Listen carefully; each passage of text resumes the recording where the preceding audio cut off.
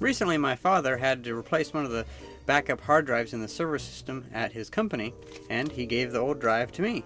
It's quite an interesting drive, too. This, this is, of course, for a, main, a big uh, server system where you kind of you, you open it like that, and you pop it into the to the unit. Then, when you push this down, this little arm grabs it and pushes the entire unit in further to get it seated in there properly. Now, this is called a SAS drive. SAS. It's 10,000 RPM and it's 300 gigabytes. It's a pretty nice little hard drive. It's pretty interesting too, quite thick. It's definitely not the kind of consumer stuff you get for like laptops and home computers. Up until now, I've only really seen hard drives that have IDE and SATA drives, or PATA and SATA, serial ATA and parallel ATA. But I've never seen this drive connection before. This is called the SAS drive. That's what it looks like. It's quite interesting. It looks very similar to some laptop hard drive connections I've seen. Because every so often, you will come across an older laptop from the early 2000s that has a connection like this, but without this block right here. And usually whenever you see that though, it's on a hard drive like this, and it, it has a little connector to adapt that. So, oh well. Now I would say that there's there's a fourth type of hard, hard, hard drive connector I've seen. It's an old edge connector on computers like from the early 1980s and stuff. But still, it's, it's not really common.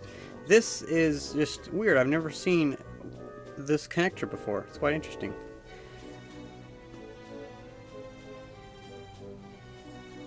As we can see right there are two LED like ports because we have two plastic rod rods that run through this entire thing to the back of here. So wherever this thing plugs into, it has the connectors, it has the power connector, and it has two LEDs, which it's just really interesting to think about that the like the power and the access LEDs, because of course it'll probably blink whenever it's being accessed, are actually in the very back of the connector, not in the front. It's kind of interesting. Now this is basically a little housing that's around this drive, so let's take it off.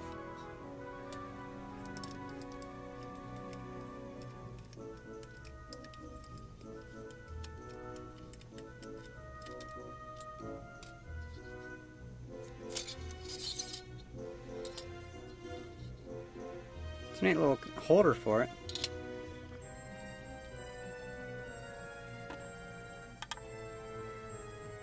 It's about uh, the same size as a, a laptop hard drive, but it's about the thickness of two modern ones. And I actually quite like how this connector just like holds that hard drive.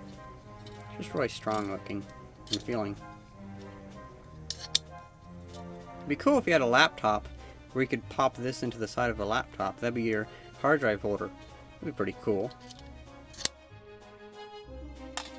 Now I say let's take this apart and see what it looks like inside.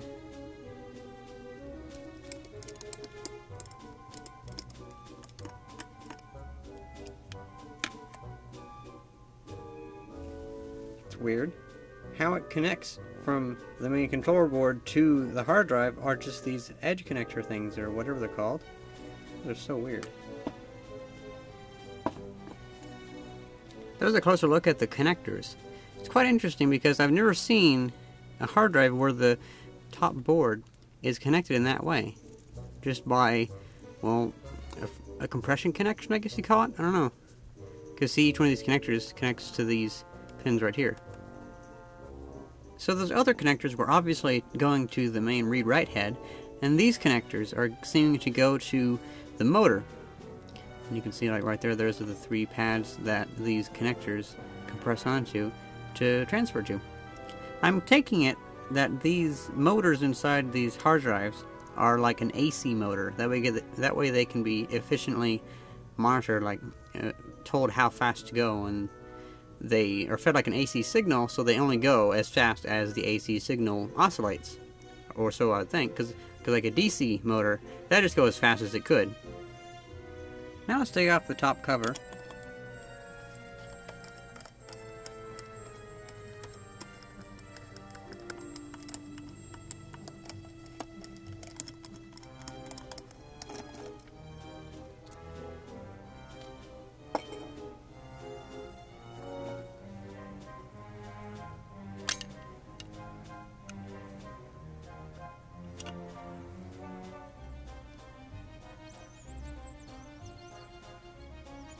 So first off, we have the main cover of the hard drive.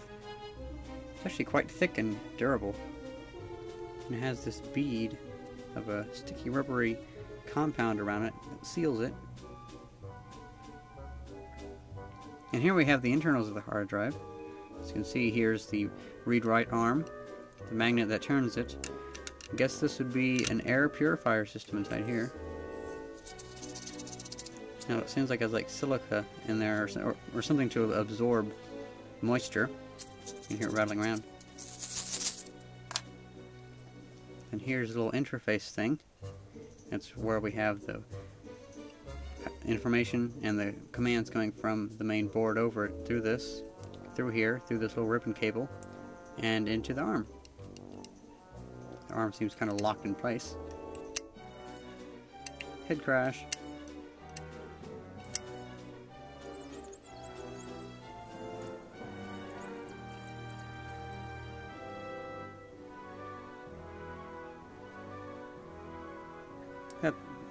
You don't want to do that to a good battery, but yeah.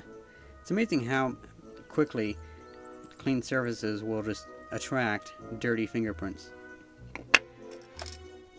Let's see. Let's take off this platter.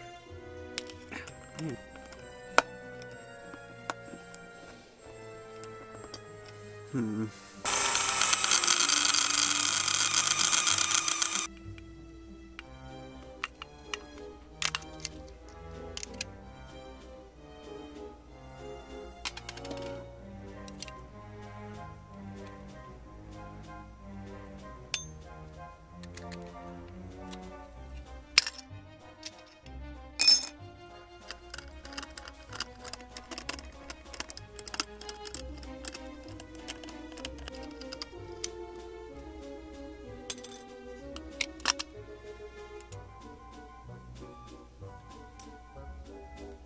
A ring.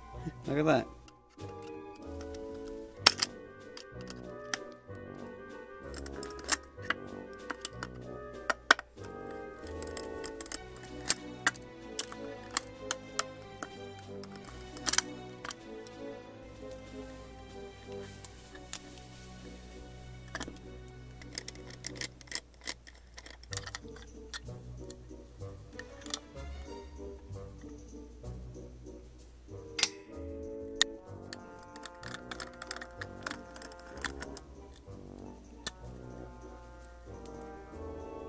So there we have it, the stripped down chassis of the server hard drive.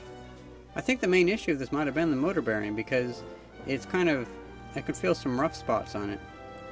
I don't think that was for me because usually these motor bearings are pretty strong and they can handle even being like pried apart. But yeah, it seems like the bearings were going out on this and that makes sense because that's usually what kills hard drives. I'm going to put this one back together just so I can have it empty we can look at all the other stuff I got out of it.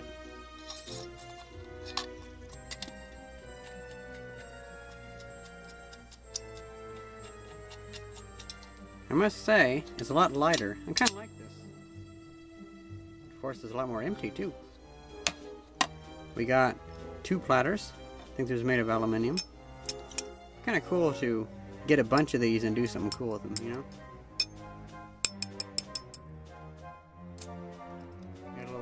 Spacer in between the two platters and the little thing that holds them down.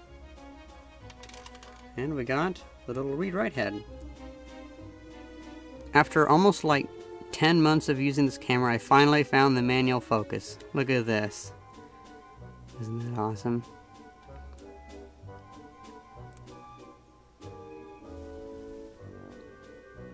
There we go. There's a nice shot.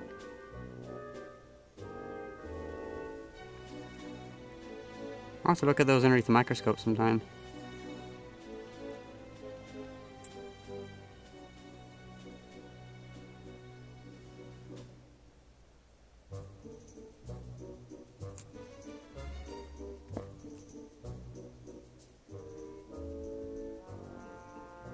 Oh, look at that. It's almost like a, an image chip. Weird. So that's what it looks like inside a plug-and-play 300 gigabyte SAS hard drive. Pretty interesting. Hope you guys enjoyed this video and thanks for watching. See ya!